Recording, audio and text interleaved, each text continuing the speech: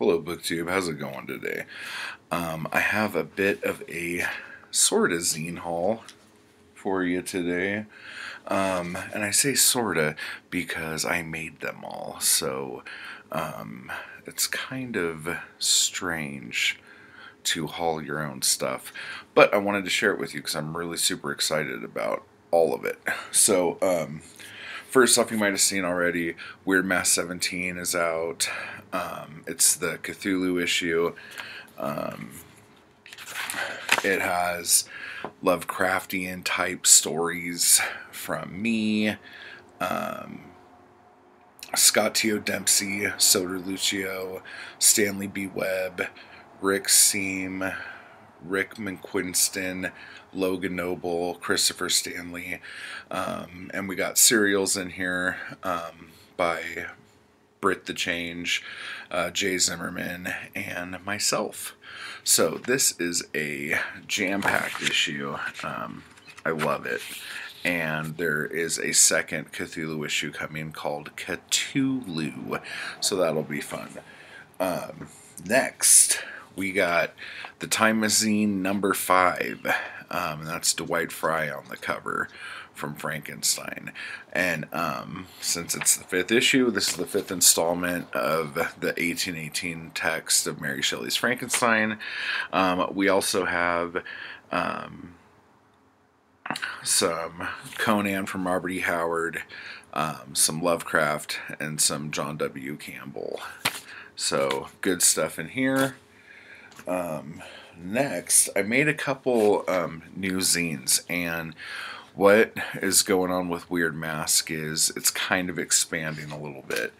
Um, and one of the things that is expanding is we will start doing like miscellaneous type stuff, um, like just like one offs, and this is one of them right here. Um, H.P. Lovecraft, Juvenilia, 1897 to 1908.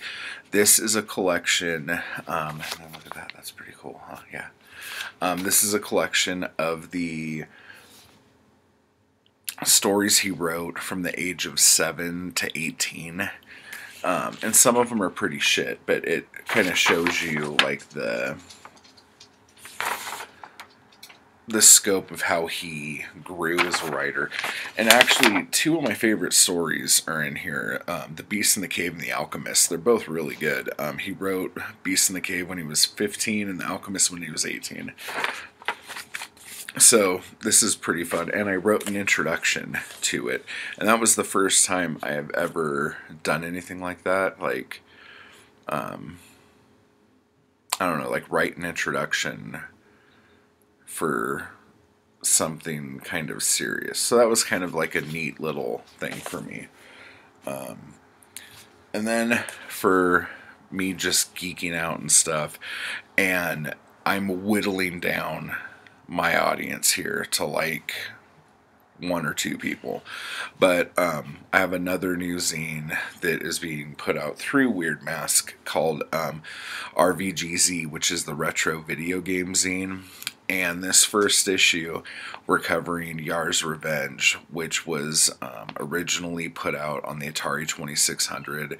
Um, it was a game put together by Howard Scott Warshaw, who also did um, the Raiders of the Lost Ark game, which is amazing and totally ahead of its time, and E.T. the Extraterrestrial, which again is totally amazing and ahead of its time and got a lot of bad rap for shit that was not its problem. And that will be a topic coming up at a later date. So, um, and there's Howard chilling and his flipper floppers. Um, and I have an article in here called 11 Things You Didn't Know About Yars' Revenge. Um, and then there's some other stuff at the end. But this was just more of a passion project, like just like a labor of love for um, one of the many things I completely geek out on. And then finally, I've been hinting at this, and actually, more than hinting, I think I actually talked about it.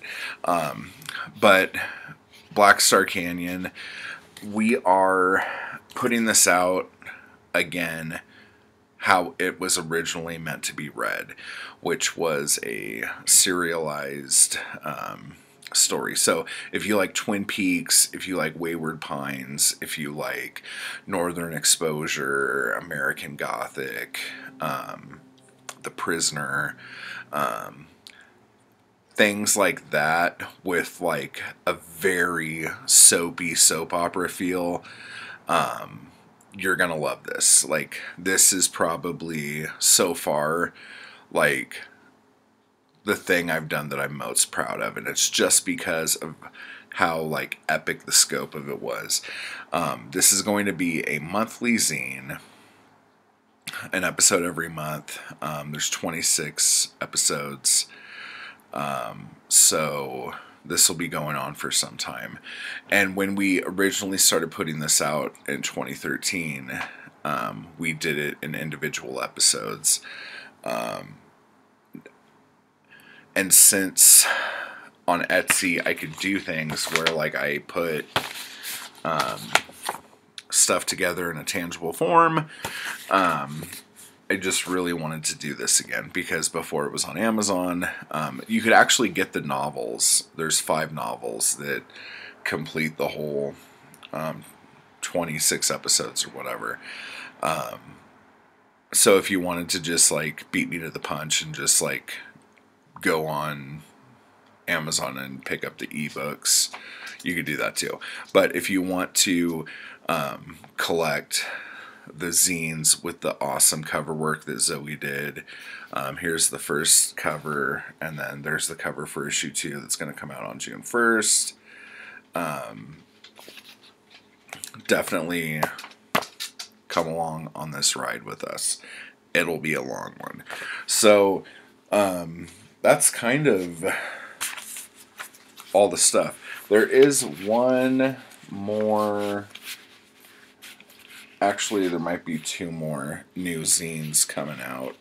Um, how where is that? Okay, there might be two new zines coming out. Um, one of them is for sure, and I'll just tell you about it. It's called um, Cinecrypt, and um, it is a like a classic monster movie fanzine that is very much um, in the same vein as like famous monsters of filmland and stuff like that. Um, famous monsters of filmland was a huge influence on me um, just with everything. Because like before the internet um, and without having a lot of channels on your tv um, there wasn't a whole lot of places where you could find stuff. So going to like thrift stores and finding old um, issues of famous monsters, and then when they, when what was it, Ray Ferry took it over and tried to revamp it in the early '90s. Um, I was like one of the first subscribers. Like, like I got my subscription as soon as I could and um, was collecting all those issues. And it's just great because it shows you so much stuff of the old horror flicks. And um, in Famous Monsters, there wasn't like really like hard hitting, great articles. They, they were fun, but like uh, magazines like Scarlet Street and Cult Movies and stuff like that had like more serious articles and i really dug those a whole lot too. Um, but yeah so there's already um, i got three other people writing articles for cinecrypt um, and that'll be coming out soon. And the article i wrote for it was um, the order that you should watch the universal monsters big three which is dracula frankenstein and wolfman because you could watch it by um, release date, but I think it kind of messes up what happens when the big monster rally stuff starts happening, like in the 40s. So, um, like I tweaked the time, not the timeline, but like how you should watch the films in what order. Um, and then there's um, a buddy of mine, Stephen Thompson, um, wrote an article about um, what is it? The Man Who Laughs. Is that what that movie's called? The Conrad Veidt movie, where the Joker smile came from and all that stuff, um, which is awesome. And so there, there's a couple other um, really cool articles. And if any of the stuff I'm talking about here, because like I've opened up Weird Mask to everybody here. Like if anyone wants to write for Weird Mask, like write um, short stories or serials or whatever, to let me know, and I'm totally cool. If you're more of an article writer and you would like to write something for Cinecrypt or um, the Retro Video Game Zine. Um, is there anything else that's kind of like that? I do have another um, zine coming out that's um, literature based, but articles.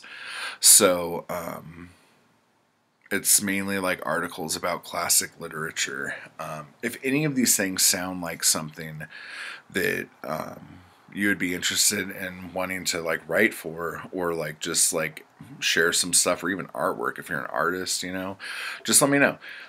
Um, I'm totally down with um, like kind of